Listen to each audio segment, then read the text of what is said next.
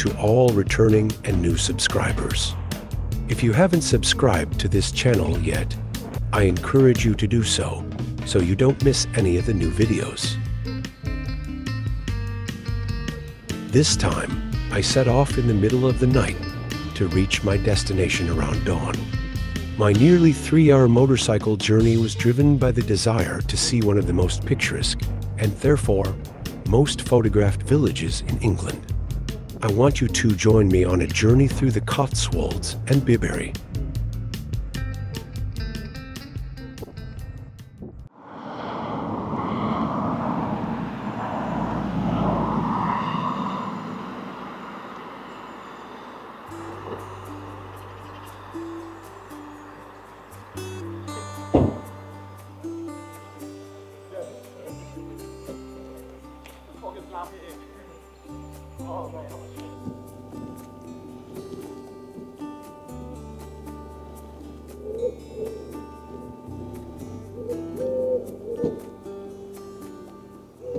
The name Bibury originates from the Old English word beag, meaning a river with bends.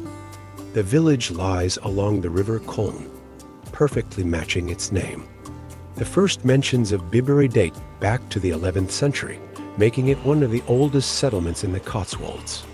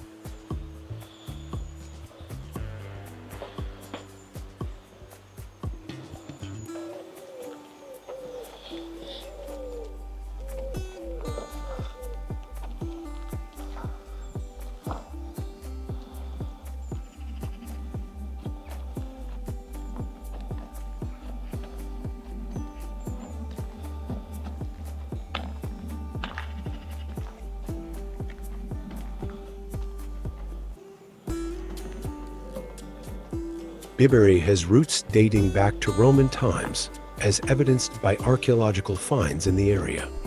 In the Middle Ages, the village was a center of the wool industry, particularly in weaving. The famous cottages at Arlington Row were originally used by weavers working in the mill.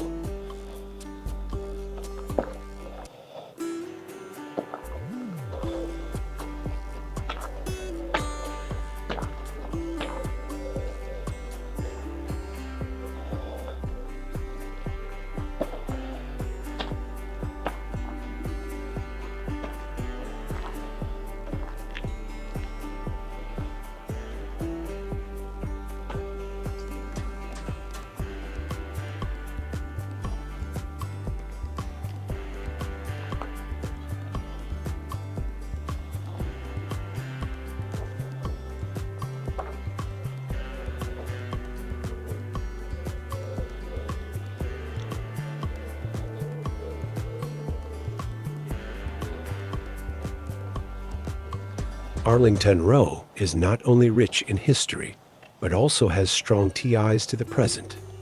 House number one was used as the residence for the character Matthew Crawley in the popular TV series Downton Abbey. Meanwhile, the famous Christmas scene from the film Bridget Jones, The Edge of Reason, was filmed at house number seven.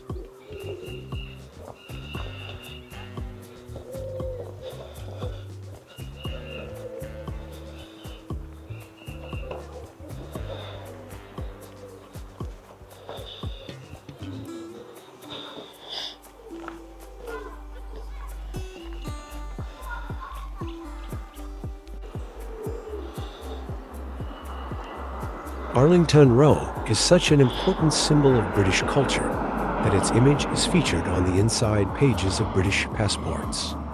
This distinction highlights its significance as a national icon. These passports are carried by millions of Britons, making Arlington Row known worldwide.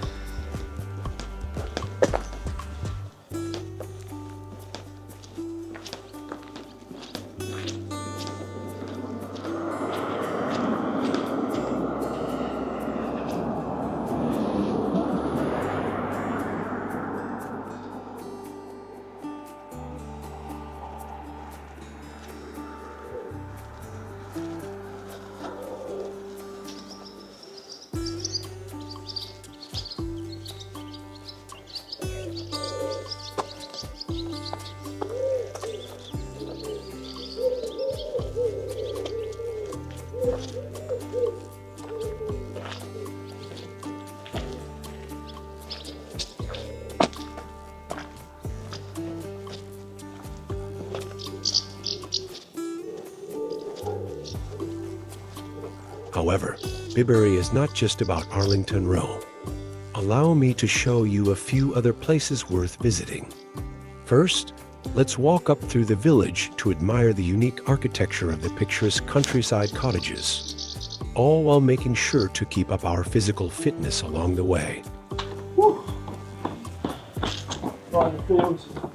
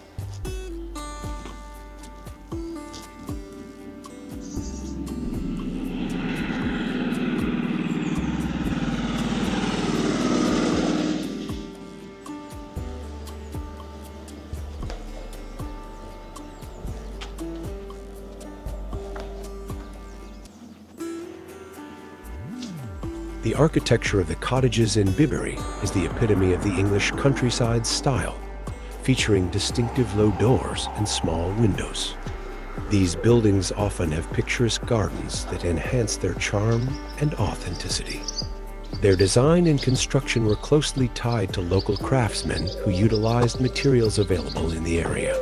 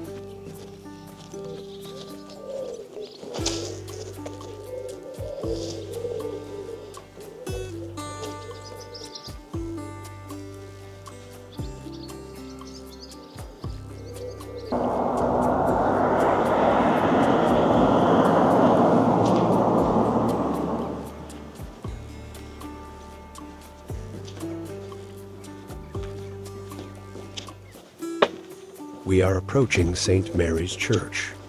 It was built in the 12th century as a Norman church, which is evident in its distinctive architecture. The first mention of the church dates back to 1130, with its tower added in the 13th century. The church has been expanded and modernized several times over the centuries, including in the 19th century.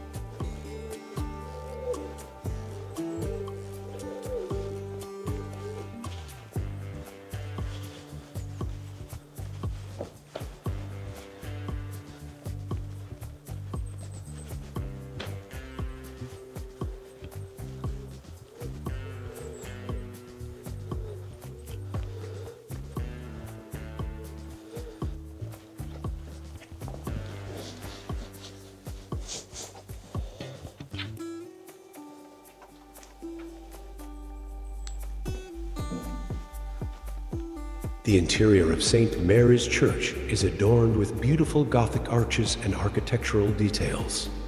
It also features colorful stained glass windows that add a mystical atmosphere to the space. Particularly noteworthy is the stained glass depicting St. George, dating back to the 15th century.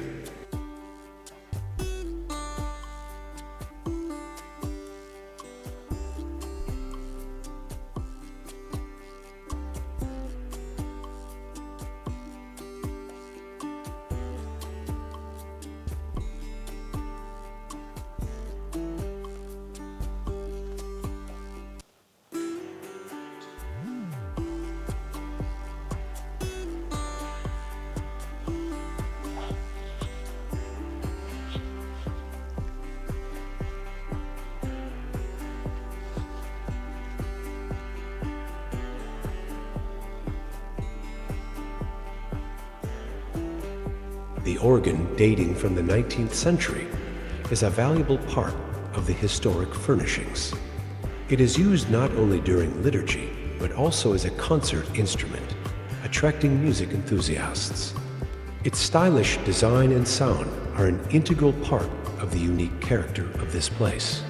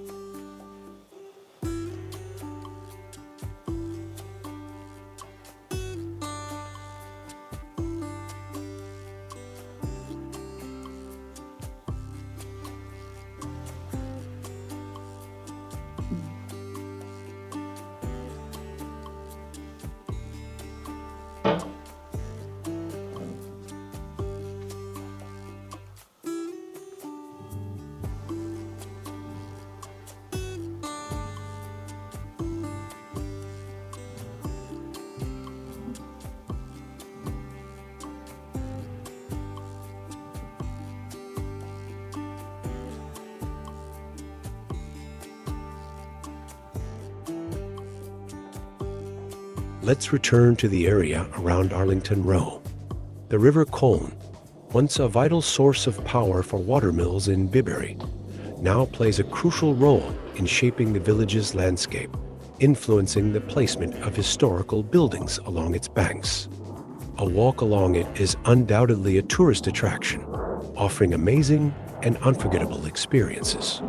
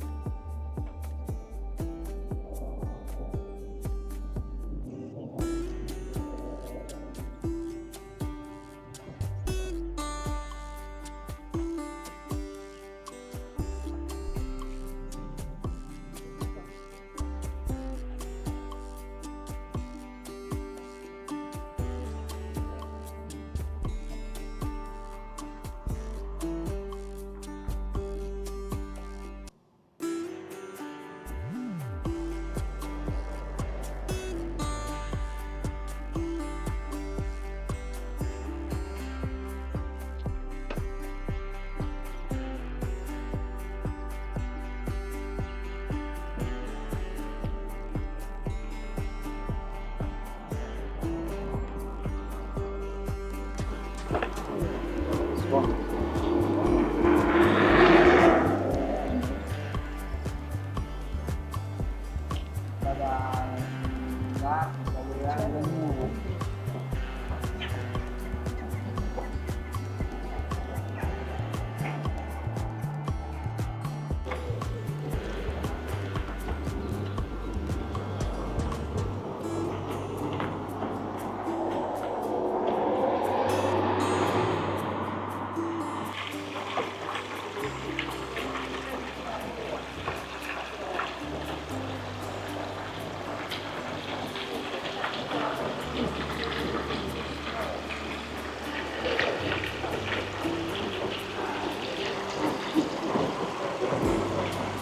If you get hungry or need a bit of rest, you can stop at one of the hotels, pubs, or restaurants to relax and enjoy the beauty of the area, even from outside.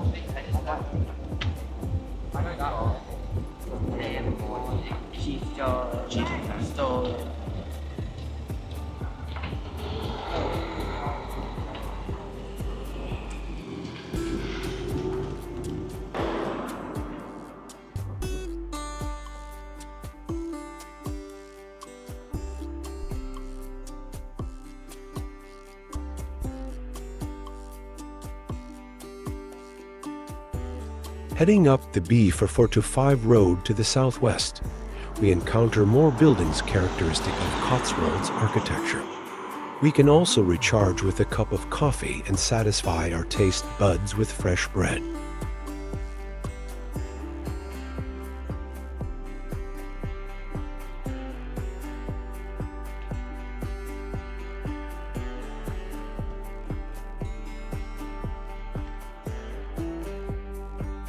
Continuing further up, we'll come across even more architectural masterpieces.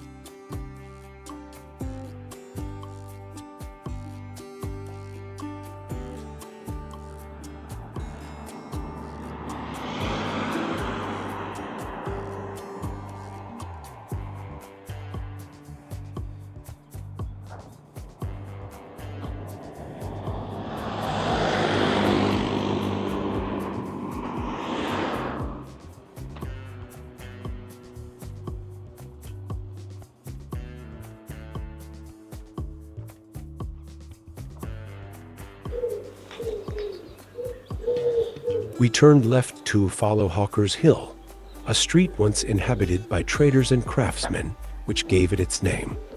These houses, witnesses to the development of local crafts, have simple yet elegant designs typical of Cotswolds architecture. In spring and summer, the street is surrounded by lush greenery and blooming gardens, adding to its charm.